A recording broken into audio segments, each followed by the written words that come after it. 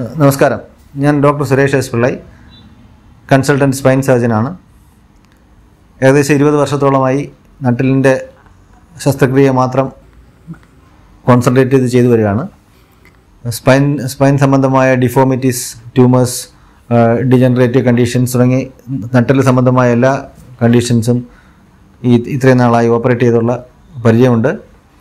ഇപ്പോൾ ഞാൻ Kozhikode baby memorial ഹോസ്പിറ്റലിലാണ് വർക്ക് ചെയ്യുന്നത്. ഇന്ന് ഞാൻ നിങ്ങളോടൊപ്പം ഷെയർ ചെയ്യാൻ ഉദ്ദേശിക്കുന്നത് സ്കോളിയോസിനെ പറ്റിയാണ്. നിങ്ങളുടെ സംശയങ്ങൾ സാധാരണ ആൾക്കാർ എന്നോട് ചോദിക്കുന്ന ക്വസ്റ്റ്യൻസും അതിന്റെ അതിന്റെ ഉത്തരങ്ങളുമാണ് ഞാനിവിടെ നിങ്ങളോട് ഷെയർ ചെയ്യുന്നത്. കഴുത്തിന്റെ ഭാഗത്ത് മുന്നോട്ടൊരു വളവുണ്ട്. അതിന് സെർവൈക്കൽ ലോഡോസിസ് എന്ന് പറയും. അതുപോലെ നെഞ്ചിന്റെ ഭാഗത്ത് പുറകെ പുറകോട്ട് ഒരു വളവുണ്ട്. അതിന് തൊറാസിക് കൈഫോസ് എന്ന് പറയും. അതുപോലെ നടുവിന്റെ ഭാഗത്ത് മുന്നോട്ടുള്ള വളവിന് ലംബാർ ലോഡോസിസ് എന്നും ഈ സേക്രത്തിന്റെ ഭാഗത്ത് പുറകിലേക്കുള്ള വളവിന് സേക്രൽ കൈഫോസിസ് എന്നാണ് പറയുന്നത്. ഇതെല്ലാം സാധാരണ ഒന്നിടവിട്ട് മുന്നോട്ടും പുറകോട്ടുമുള്ള വളവാണ്. ഇത് ശരീരഭാ ശരീരഭാരത്തെയും കൈകാലുകളുടെ ഭാരത്തെയും ആയാസരഹിതമായി ഭൂമിയിലേക്ക് കടത്തിവിടുന്നതിന് സെന്റർ ഓഫ് ഗ്രാവിറ്റി ലൈൻ വഴി കടത്തിവിടുന്നതിന് ഇത് വളരെയേറെ പ്രയോ പ്രയോജനപ്രദമാണ്. അപ്പോൾ നട്ടലിന് വൈകല്യങ്ങൾ ഉണ്ടാകുമ്പോൾ ഇതിലേതെങ്കിലും ഈ ഒന്നര വിട്ടുള്ള വളവുകൾ ഏതെങ്കിലും അധികമായാൽ അത് അബ്നോമലാണ് അപ്പോൾ ഒരു വശത്ത് നടുവിന്റെ ഭാഗത്ത് മുന്നോട്ട് വളവ് വന്നാൽ അത് കോമ്പൻസേറ്റ് ചെയ്യുന്നതിന് ബോഡിയുടെ മറുഭാഗത്ത് വളവ് തിരിച്ച് കൂടുതൽ വരും. അപ്പോൾ ഈ സജിറ്റൽ ബാലൻസ് കറക്റ്റ് ആകുന്നതിന് ബോഡി ശ്രമിക്കും. നട്ടലിന് കാണപ്പെടുന്ന വൈകല്യങ്ങളിൽ ഏറ്റവും പ്രധാനപ്പെട്ട ഒന്നാണ് സ്കോളിയോസിസ്. സ്കോളിയോസിസ് എന്നാൽ നട്ടലിന്റെ കണ്ണികളുടെ തിരിവും കശേരുക്കളുടെ തിരിവും അതോടൊപ്പം പാർശ്വ പാർശ്വങ്ങളിലേക്കുള്ള വളവുമാണ് സ്കോളിയോസിസ് എന്ന് പറയുന്നത്. അതുപോലെ മറ്റ് പലതരം വൈകല്യങ്ങൾ നട്ടലിനുണ്ട് ഉദാഹരണത്തിന് കൈഫോസിസ്. പുറകിലേക്കുള്ള കൂടുതൽ കൂന് വരുന്നതിനാണ് കൈഫോസിസ് എന്ന് പറയുന്നത്. ലോഡോസിസ് മുന്നോട്ടുള്ള വളവിന് ലോഡോസിസ് എന്ന് പറയും. അത് സാധാരണ ഉള്ളതിൽ കവിഞ്ഞുള്ളതാണെങ്കിൽ അത് അബ്നോമലാണ് അതുപോലെ തന്നെ നട്ട നട്ടലിന് ക്ഷതം വന്നതിന് ശേഷം ഉണ്ടാകുന്ന പോസ്റ്റ് ലാമിനെക്ടമി ഡിഫക്ട്സ് ഇപ്പോൾ എന്തെങ്കിലും ഒരു മുഴയോ അല്ലെങ്കിൽ ഒരു ഇൻഫെക്ഷനോ എന്തെങ്കിലും കാര്യങ്ങൾ വന്നതിന് ശേഷം കുട്ടി കുട്ടിക്കാലത്ത് ലാമിനെക്ടമി ചെയ്യേണ്ടി വരികയോ അല്ലെങ്കിൽ ഫ്യൂഷൻ ചെയ്യാതിരിക്കുകയോ ചെയ്താൽ ഉണ്ടാകാവുന്ന ഡിഫോമിറ്റീസ് എന്തെങ്കിലും ക്യാൻസറിന് വന്നിട്ട് റേഡിയേഷൻ വേണ്ടി വന്നാൽ അങ്ങനെയും ഡിഫോമിറ്റീസ് വരാം. ഇപ്പോൾ സ്കോളിയോസിസും അങ്ങനെ തന്നെ. സ്കോളിയോസിസിന് ഞാൻ പറഞ്ഞു പാർശ്വങ്ങളിലേക്കുള്ള വളവും നട്ടലിന്റെ കശേരിക്കളുടെ തിരിവുമാണെന്ന്. അപ്പോൾ ഈ തിരിവ് വരുന്നതനുസരിച്ച് ഈ തിരിവിനോടൊപ്പം ഈ ബോൺ മാത്രമല്ല തിരിവുണ്ടാകുന്നത് അതിനോടൊപ്പം ഉണ്ടാകുന്ന ഞരമ്പുകൾ അല്ലെങ്കിൽ മറ്റ് പേശികൾ ലിഗമെൻസ് ഇവയ്ക്കെല്ലാം ഈ ടോർഷൻ തിരിവിനാണ് ടോർഷൻ എന്ന് പറയുന്നത്. ആ- ടോർഷൻ സംഭവിക്കും. അപ്പോൾ ഇതാണ് നമുക്ക് കറക്റ്റ് ചെയ്യേണ്ടത്. അത് നമ്മുടെ സജിറ്റൽ ബാലൻസിനെ അല്ലെങ്കിൽ ആടിന് സാധാരണഗതിയിൽ നടക്കുന്നതിനെ ബാധിക്കുകയോ അല്ലെങ്കിൽ വശങ്ങളിലേക്ക് കൂടുതൽ ചെരിയുമ്പോൾ ഞരമ്പിന് സ്ട്രെച്ച് ചെയ്യുകയോ അല്ലെങ്കിൽ ശരീര വളർച്ചയെ ബാധിക്കുകയോ ഒക്കെ ചെയ്താൽ അല്ലെങ്കിൽ ശ്വാ- ശ്വാസകോശത്തിന്റെ ഫങ്ഷനെ ബാധിക്കുക. അങ്ങനെയുള്ള ഒരുപാട് പ്രശ്നങ്ങൾ ഉണ്ടാക്കാം.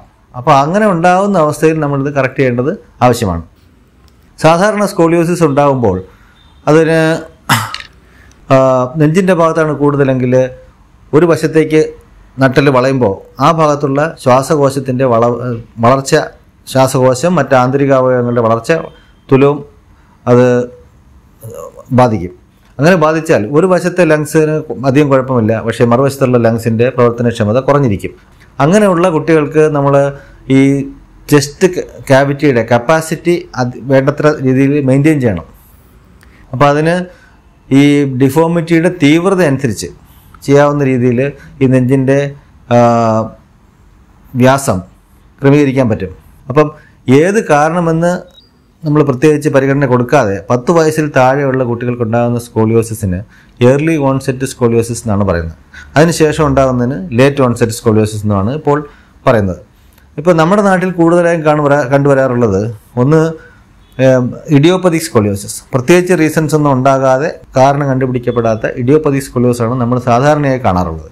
ഈ ആന്തരിക അവയവങ്ങളുടെ പ്രവർത്തനത്തിനുള്ള വേണ്ടത്ര സ്ഥലം ലഭിക്കാതിരിക്കുക. അതായത് ഒരു വശത്തേക്ക് നട്ടിൽ വളയുമ്പോൾ ആ ഭാഗത്തുള്ള ശ്വാസകോശങ്ങളുടെ വികാസത്തിനും അല്ലെങ്കിൽ വളർച്ചയ്ക്കും ഉണ്ടാകുന്ന സ്പേസ് വളരെ കുറവായിരിക്കും. പ്രത്യേകിച്ചും ടീനേജ് അല്ലെങ്കിൽ ചൈൽഡ്ഹുഡിലുള്ള കുട്ടികൾക്കാണ് ഇത് വരുന്നതെങ്കിൽ അവരുടെ മാനസിക പ്രശ്നവും ഈ വളവ് മൂലം വളരെ വളരെ നമുക്ക് പറഞ്ഞറിയിക്കാൻ പറ്റാത്തത്ര വലുതാണ്.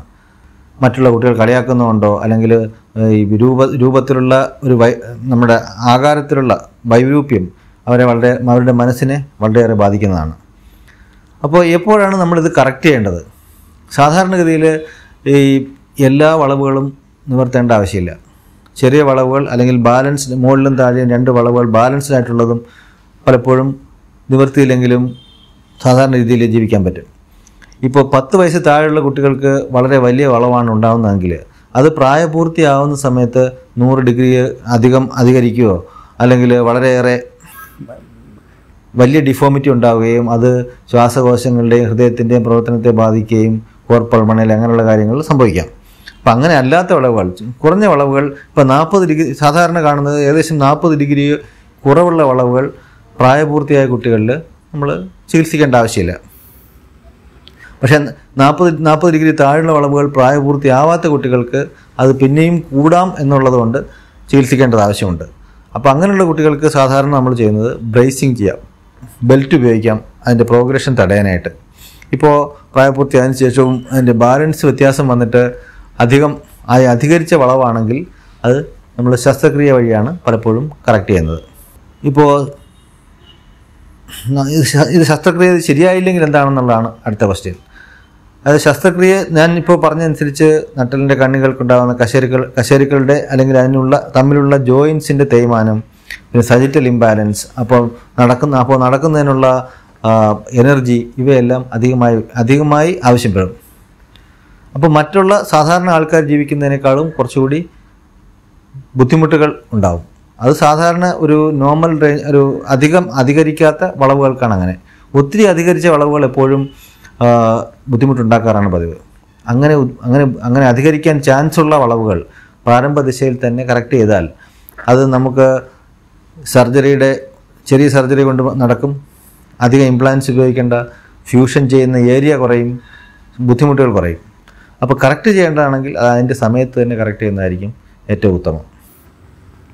അപ്പോൾ ഈ വളവുകൾ സാധാരണ സാധാരണ മുന്നോട്ട് കൂന് വരുന്നതിന് കൈഫോസ് എന്ന് പറയും. കൈഫോസിസ് ആണ് സാധാരണ കൂടുതലും ഈ ന്യൂറോളജിക്കൽ ഡെഫിസിറ്റ്സ് ഉണ്ടാക്കാറ്. പ്രത്യേകിച്ചും കൈകാലുകൾ കാലുകളുടെ തളർച്ചയ്ക്കൊക്കെ കാരണമാകുന്നത് കൈഫോസിസ് അധികരിച്ചാലാണ്.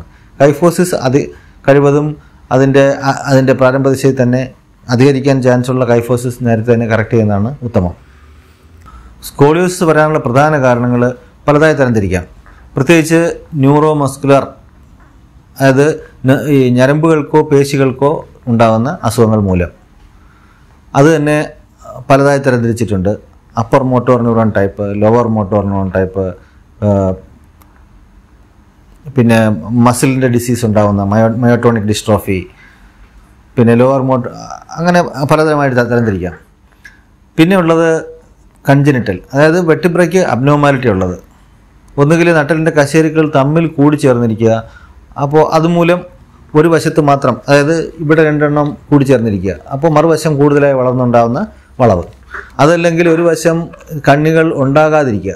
അപ്പോൾ മറുവശത്ത് കൂടുതൽ വളർച്ച വരുമ്പോൾ അത് സൈഡിലേക്ക് തിരിയുക.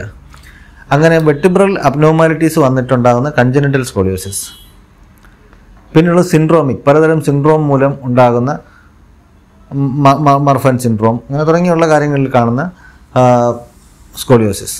പിന്നെയുള്ളത് ഇഡിയോപ്പതി സ്കോളിയോസിസ്. നാലാമത്തെ ടൈപ്പാണ് ഇഡിയോപ്പതിക് അതായത് പ്രത്യേകിച്ച് ഇതുവരെ റീസൺസ് ഒന്നും ഡെഫിനറ്റ് ആയിട്ട് റീസൺ കണ്ടുപിടിക്കാത്ത പല പല തിയറീസ് ഉണ്ടെങ്കിലും അത് കൃത്യമായ റീസൺ പറയാത്ത സ്കോളിയോസാണ് ഇഡിയോപ്പതിക് സ്കോളിയോസ് സാധാരണ നമ്മൾ സ്കോളിയോസിസ് കറക്റ്റ് ചെയ്യുന്നതിന് പ്രത്യേകിച്ച് പത്ത് വയസ്സിൽ താഴെയുള്ള കുട്ടികൾക്കുണ്ടാകുന്ന സ്കോളിയോസിന് ഇയർലി ഓൺസെറ്റ് സ്കോളിയോസിസ് എന്നും പത്ത് വയസ്സിന് താ മുകളിലുണ്ടാകുന്നതിന് ലേറ്റ് ഓൺസെറ്റ് സ്കോളിയോസ് എന്നാണ് പറയുന്നത്. അപ്പോൾ ഈ പത്ത് വയസ്സിൽ താഴെ ഉണ്ടാകുന്ന കുട്ടികൾക്കുള്ള വൈകല്യങ്ങളാണ് കൂടുതൽ പ്രധാനപ്പെട്ടത്. കാരണം അവരുടെ വളർച്ചയും ആന്തരിക അവയവങ്ങളുടെ വളർച്ചയും വളരെയേറെ ബാധിക്കാം ഈ വളവ് മൂലം. അപ്പോൾ അങ്ങനെയുള്ള കുട്ടികൾക്ക് നമ്മൾ പ്രാരംഭ ദിശയിൽ തന്നെ ഒന്നുകിൽ ബ്രേസ് ചെയ്യാം ബ്രേസ് ചെയ്യാൻ പറ്റുന്നതാണെങ്കിൽ അതല്ലെങ്കിൽ ഗ്രോത്ത് മോഡുലേറ്റിംഗ് പല പല പ്രൊസീജിയേഴ്സ് ഉണ്ട്. അതായത് ചെസ്റ്റ് ക്യാവിറ്റിയുടെ ആ വശത്തെ നെഞ്ചിൻ നെഞ്ചിന്റെ കൂടിന്റെ ആ ഭാഗത്തുള്ള വ്യാ അകത്തുള്ള വോളിയം വോളിയം മെയിന്റെയിൻ ചെയ്യത്തക്കൊണ്ടുള്ള പ്രൊസീജിയേഴ്സ് അപ്പോൾ ലങ്സിന്റെ വളർച്ചയ്ക്ക് അത് വളരെയേറെ പ്രധാനപ്പെട്ടാണ്. ബ്രേസ് എന്ന് പറഞ്ഞാൽ സാധാരണ ഈ വളവ് കുട്ടികൾക്ക് നാൽപ്പത് ഡിഗ്രിയിൽ താഴെയുള്ള വളവുകളാണ്. അത് പ്രോഗ്രസ് ചെയ്യുന്നതാണ്. സ്കെൽറ്റലി ഇമ്മച്ചുവർ അതായത് മാസമുറ പെൺകുട്ടികളാണെങ്കിൽ മാസമുറ ആവാത്തത് ആൺകുട്ടികളാണെങ്കിൽ സെക്കൻഡറി സെക്ഷൽ ക്യാരക്ടേഴ്സ് ഡെവലപ്പ് ചെയ്യാത്തത് അങ്ങനെയുള്ള കുട്ടികൾക്ക് അല്ലെങ്കിൽ അതിന് റേഡിയോളജിക്കൽ ക്രൈറ്റീരിയ ഉണ്ട്. അതിൽ വളർച്ച നാൽപ്പത് ഡിഗ്രി താഴെയുള്ള വളവുകൾക്കാണെങ്കിൽ നമ്മൾ ബ്രേസ് ചെയ്യാം. ബ്രേസ് എന്ന് പറഞ്ഞാൽ ബെൽറ്റ് ഉപയോഗിക്കുക. അപ്പോൾ ബെൽറ്റ് ഉപയോഗിച്ച് പലപ്പോഴും ഈ ഇത്തരം ബെൽറ്റ് ഉപയോഗിച്ചാൽ അത് മോൾഡ് ചെയ്തെടുക്കേണ്ട ബെൽറ്റാണ് അത് കറക്റ്റ് പൊസിഷൻ കറക്റ്റ് ചെയ്തിട്ട് തെർമോപ്ലാസ്റ്റിക് വെച്ച് മോൾഡ് ചെയ്തിട്ട് ബ്രേസ് ഉണ്ടാക്കും. ഈ ബ്രേസ് ഇരുപത്തിമൂന്ന് മണിക്കൂറെങ്കിലും ദിവസം ഉപയോഗിക്കണം. കൺജനറ്റൽ സ്കോളിയോസിലോ ന്യൂറോമസ്കുലർ സ്കോളിയോസിലൊന്നും ഇതിന് ബ്രേസിങ്ങിന് റോളില്ല പ്രായപൂർത്തിയായ കുട്ടികളിലും ഇതിന് ബ്രേസിങ്ങിന് റോളില്ല വളർച്ച ബാക്കിയുണ്ടെങ്കിൽ മാത്രമേ ഇത് ബ്രേസ് ചെയ്തുകൊണ്ട് അല്ലെങ്കിൽ ബെൽറ്റ് ഇട്ടുകൊണ്ട് കാര്യമുള്ളൂ. സാധാരണ സ്കോളിയോസിന് വളവ് വല്ലാണ്ട് അധികരിക്കുകയാണെങ്കിൽ സ്കെൽറ്റൽ മെച്ചൂരിറ്റി വരെ കാത്തിരിക്കേണ്ട ആവശ്യമില്ല. സ്കെൽറ്റൽ മെച്ചൂരിറ്റി വരെ വരെ കാത്തിരുന്ന് വലിയ വളവുണ്ടാകുമ്പോൾ സ്പൈൻ ഏകദേശം മൊത്തവും നമ്മൾ ഫ്യൂഷൻ ചെയ്യേണ്ടി വരും. അങ്ങനെയുള്ള അവസരങ്ങളിൽ നേരത്തെ നമ്മൾ സർജറി ചെയ്താൽ അത് പ്രോഗ്രഷൻ റേറ്റ് വളരെ കുറവായിരിക്കും. അതുമാത്രമല്ല ട്രങ്കിന്റെ കുറച്ച് നമ്പർ വെട്ടിപ്ര ഫ്യൂഷൻ ചെയ്യുമ്പോൾ ട്രങ്കിന്റെ വളർച്ചയ്ക്കും അത് വളരെയേറെ സഹായകമാകും. നാൽപ്പത് ഡിഗ്രിയിൽ കൂടുതലുള്ള വളവുകൾ പ്രത്യേകിച്ചും സ്കെൽറ്റലി മെച്യൂരിറ്റി ആവുന്ന സമയത്താണ്. ഒത്തിരി അധികരിച്ച ഇപ്പോൾ എയ്റ്റി നയന്റി അല്ലെങ്കിൽ ഹൺഡ്രഡ് ഡിഗ്രി ഒക്കെ ഉള്ളതാണെങ്കിൽ നമ്മൾ അതിന് വേണ്ടി വെയിറ്റ് ചെയ്യില്ല. അതിന് മുന്നേ തന്നെ സർജറി ചെയ്യണം. ഇപ്പോൾ പ്രായപൂർത്തി ഇപ്പം ആവാത്ത കുട്ടികൾ പത്ത് വയസ്സിൽ താഴെയുള്ള കുട്ടികളാണെങ്കിൽ നെഞ്ചിന്റെ ഡിഫോമിറ്റി ഉണ്ടെങ്കിലോ നെഞ്ചിന്റെ ഭാഗത്തുള്ള വളവാണ് കൂടുതലെങ്കിൽ അതിന്റെ ചെസ്റ്റിന്റെ വോളിയം മെയിന്റെയിൻ ചെയ്യുന്നതിന് വേണ്ടി ടെമ്പററി ഫിക്സേഷൻ ചെയ്യാം അതിന്റെ ഗ്രോത്ത് മോഡുലേഷൻ ചെയ്യും. അത് പ്രായപൂർത്തിയാകുമ്പോഴോ അല്ലെങ്കിൽ വളവ് വല്ലാണ്ട് അധികരിക്കുന്ന സമയത്തോ അതിന് അപ്പോൾ ഈ സ്പൈൻ സർജറി ചെയ്ത് കഴിഞ്ഞാൽ പലരുടെയും സംശയം അത് കഴിഞ്ഞ് സാധാരണ കുടുംബജീവിതം സാധ്യമാണെന്നുള്ളതാണ്. മിക്കവാറും എല്ലാ കുട്ടികളും തന്നെ സാധാരണ കുടുംബജീവിതം നയിക്കുന്നവരാണ്. കല്യാണം കഴിഞ്ഞ് കുട്ടികളാ കുട്ടികളായി കുട്ടികളായിട്ടും അല്ലെങ്കിൽ മറ്റുള്ള പോപ്പുലേഷനുമായിട്ട് യാതൊരു വ്യത്യാസവും ഇല്ലാതെ തന്നെ അവർ സുഖമായി ജീവിക്കുന്നുണ്ട്. ചെയ്യേണ്ട സമയത്ത് സർജറി ചെയ്യാൻ പറ്റാതിരുന്നവർക്കോ അല്ലെങ്കിൽ അന്നുള്ള പേടി കാരണം ചെയ്യാതിരുന്നവർക്കോ ഇപ്പോൾ ഈ വളവ് മൂലം കൂടുതൽ സ്ഥിരമായ നടുവേദന അല്ലെങ്കിൽ തളർച്ച നടക്കുമ്പോൾ തളർച്ച ഉണ്ടാവുക ഇങ്ങനെയുള്ള ബുദ്ധിമുട്ടുകളൊക്കെ ഉള്ളവർക്ക് അല്ലെങ്കിൽ ബാലൻസ് സ്പൈൻ ബാലൻസ് ഇല്ല ട്രങ്കിന്റെ ബാലൻസ് ഇല്ല ബോഡിയുടെ ബാലൻസ് ഇല്ല അങ്ങനെയുള്ളവർക്ക് സർജറി ചെയ്ത് കറക്റ്റ് ചെയ്യാവുന്നതാണ്. ചിലപ്പോൾ പണ്ട് ചെയ്തതിനേക്കാളും കൂടുതൽ നേരം സർജറി ചെയ്യേണ്ടി വരും. ചിലപ്പോൾ ഒന്നോ രണ്ടോ അപ്രോച്ച് ചെയ്യേണ്ടി വരും. ഫ്രണ്ടിൽ കൂടെയും ബാക്കിൽ കൂടെയും വേണം. അല്ലെങ്കിൽ ബാക്കിൽ കൂടെ തന്നെ കുറച്ച് കൂടുതൽ നേരം ചെയ്യേണ്ട സർജറി വന്ന് വന്നേക്കാം. എന്നാലും അങ്ങനെയുള്ളവർക്കും ഇത് ചെയ്യാവുന്നതാണ്. സാധാരണ ഇഡിയോപ്പതി സ്കോളിയോസിസ് പെൺകുട്ടികളിലാണ് പ്രത്യേകിച്ച് അഡോളസിന്റെ ഇഡിയോപ്പതി സ്കോളിയോസ് കൂടുതലും പെൺകുട്ടികളിലാണ് കാണാറ്. പെൺകുട്ടികളുടെ വസ്ത്രധാരണ ലൂസായിട്ടുള്ള ഡ്രസ്സിംഗ് പാറ്റേൺ അനുസരിച്ച് പലപ്പോഴും ഇത് കണ്ടുപിടിക്കാൻ ബുദ്ധിമുട്ടായിരിക്കും. അല്ലെങ്കിൽ വളരെ കുറച്ച് വളരെ അധികരിച്ചതിന് ശേഷമായിരിക്കും ഇത് കണ്ടുപിടിക്കപ്പെടുക. പക്ഷേ ഇത് നേരത്തെ കണ്ടുപിടിക്കുന്നതിന്റെ പ്രധാന മാർഗമുണ്ട്. ഒന്ന് കുട്ടിയെ മുന്നോട്ട് നമ്മൾ മുന്നോട്ട് വളച്ചു നിർത്തി നോക്കിയാൽ നട്ടൽ നട്ടലിന്റെ പുറകിലുള്ള സ്പൈനസ് പ്രോസസ്സ് അതിൽ കൂടെ വിരലം ഓടിച്ചാൽ സാധാരണഗതിയിൽ അതൊരു സ്ട്രേറ്റ് ലൈനിലായിരിക്കും അപ്പോൾ അതിൽ വ്യത്യാസം ഉണ്ടെങ്കിൽ നമ്മൾ അതിന്റെ ഒരു സ്പൈൻ സ്പെഷ്യലിസ്റ്റിനെ കാണിക്കണം. ഇതിന് നട്ടലിന്റെ വളവുണ്ടോ ഇല്ലയോ എന്നറിയാം ചില അവസരങ്ങളിൽ വേറെ എന്തെങ്കിലും അസുഖത്തിന് അല്ലെങ്കിൽ ചുമയ്ക്കോ ചെസ്റ്റ് എക്സ്റേ എടുത്ത് നോക്കുമ്പോഴായിരിക്കും നമ്മൾ ഈ വളവ് കാണുന്നത്. അപ്പോൾ ഈ വളവ് കൊണ്ട് എന്താണ് പ്രശ്നങ്ങളെന്ന് നോക്കാം. അപ്പോൾ ഒരു ഈ കണ്ണുകൾ തിരിയുമ്പോൾ ഈ ഒരു രണ്ട് കണ്ണുകൾ തമ്മിൽ പുറകിൽ രണ്ട് ജോയിന്റ് ഉണ്ട് അത് തമ്മിൽ ഘടിപ്പിച്ച് ലിഗമെൻസ് ഉണ്ട് അതിന്റെ ഫ്രണ്ടിൽ ഡിസ്ക് ഉണ്ട്. അപ്പോൾ ഇത് തമ്മിൽ തിരിയുമ്പോൾ ഈ ഈ ഫേസറ്റ്സ് അതായത് ഈ ഈ സൈനോബിയൽ ജോയിൻസിന് തിരിവുണ്ടാവുന്നു. അപ്പോൾ എളുപ്പം സാധാരണ അപേക്ഷിച്ച് എളുപ്പം കേടുപാട് വരുന്നതിന് സാധ്യത ഏറെ ഏറെയാണ്. പ്രത്യേകിച്ച് നടുവിന്റെ ഭാഗത്തുള്ള വളവാണ് ഇങ്ങനെ വരുന്നതെങ്കിൽ ഭാവിയിൽ സ്ഥിരമായി ബാക്ക് പെയിൻ ഉണ്ടാകാനുള്ള ചാൻസ് ഒരു എയ്റ്റി ത്രീ പെർസെന്റ് സാധാരണ ഉള്ള ആൾക്കാരെക്കാളും കൂടുതലായിരിക്കും. ഇതിനെക്കുറിച്ച് നിങ്ങൾക്കുള്ള അഭിപ്രായങ്ങളോ അല്ലെങ്കിൽ കൂടുതൽ സംശയങ്ങളോ ഉണ്ടെങ്കിൽ താഴെ കാണുന്ന വാട്സാപ്പ് നമ്പറിലോ കമന്റ് ബോക്സിലോ കമന്റ് ചെയ്താൽ അതിന് ഉത്തരം തരാൻ ഞാൻ ശ്രമിക്കാം. Issued in public interest by Baby Memorial Hospital, Kozhikode.